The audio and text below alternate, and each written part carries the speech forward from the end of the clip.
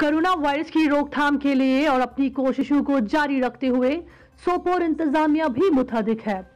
इस सिलसिले में एडीसी सोपोर ने अपने एक बयान में कहा कि सोपोर कस्बे में जो भी कोविड एस के खिलाफ मुर्तकब पाया जाएगा, उसके खिलाफ सख्त से सख्त कार्रवाई अमल में लाई जाएगी। पेशे हमारे नुमाइंदे इरफान नजीर की ये रिपोर्ट। अमल करे ताकि इस बीमारी से बचा जा सके।